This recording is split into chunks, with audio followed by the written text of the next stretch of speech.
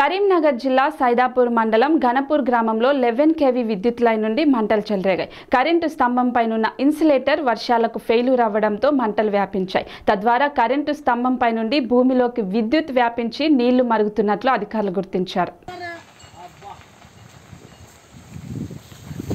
పనిచేయదు కదా pole pole పనిచేయదు దాన్ని ఎక్కదు ఈ ఇన్సిడెంట్ ఎప్పుడు పోయింది? ఇన్సులేటర్ ఓపెన్ అరే ఇన్సులేటర్ పోయింది కదా? అబ్బా.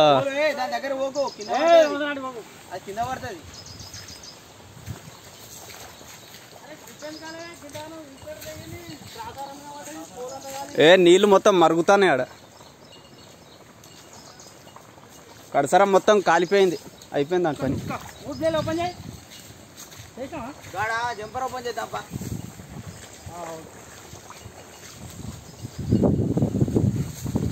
ట్రిప్ ఎందుకు గాలి అసలు ఏం కాదు ఏం కాదు సప్లై పని చేసినాం కదా ఏం కాదు ఊరు కింద కూర్చుతానే నేను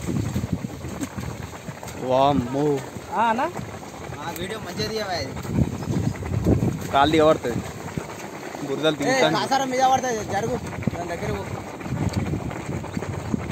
కింద పోల్ కింద తూకది కూర్చుతాను వా. మంచిగా తీయవా దాని అసలు లైన్ ఎందు- లైన్ ఎందుకు ట్రిప్ కాలే బ్రేకర్ పని చేస్తలేదు.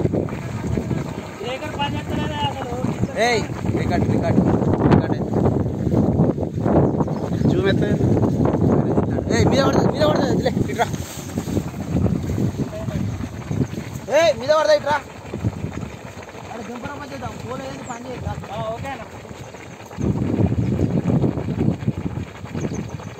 మీద సౌండ్ వస్తుంది. ఊడిపోతుంది ఏంది?